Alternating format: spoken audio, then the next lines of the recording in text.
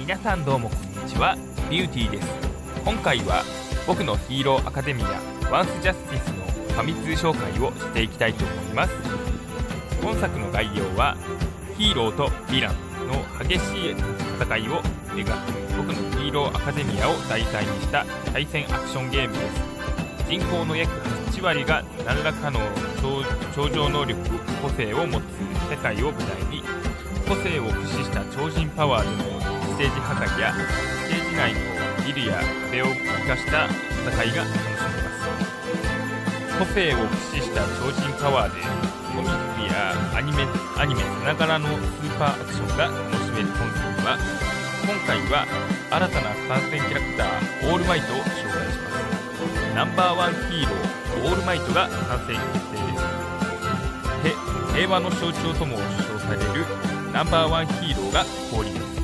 個性は代々受け継がれてきた力を蓄えて譲り渡しができるはワン・フォー・オール。超人パワーで敵を吹き飛ばします。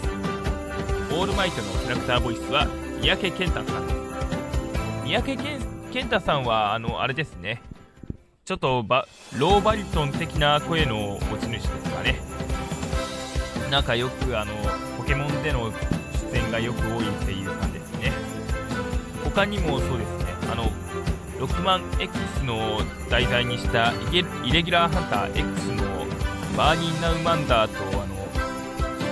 えっと、アルマアーマー・アルマージの声を担当しております。三宅健太さんそうですね。あのあとあの名前は忘れたんですけどあのマクロスフロンティアにも出ていた気がしますね。なんかオカマ系お姉系のやつなんですけどあの「いくぜ王女せいや!」とかすごく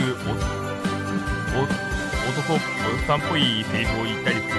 キャラクターの声もやっておりましたね。まああの